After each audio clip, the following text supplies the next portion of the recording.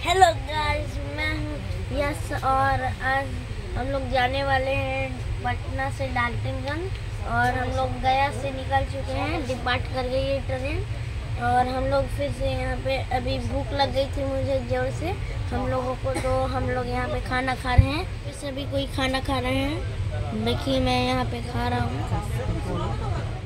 रोटी खा रहे हैं और पनीर का सब्ज़ी भी है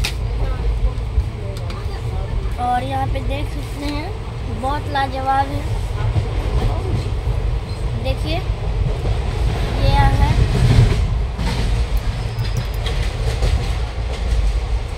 बहुत बढ़िया है।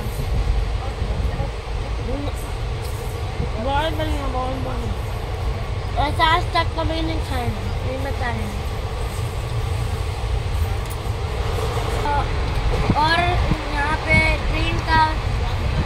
बाहर का व्यू देख करके खाना खाने में इतना मज़ा आता है कि आप सोच भी नहीं सकते। अगर आप लोग ट्रेन में सफ़र किए होंगे तो कमेंट करिए लाइक करिए सब्सक्राइब करिए, और छोटा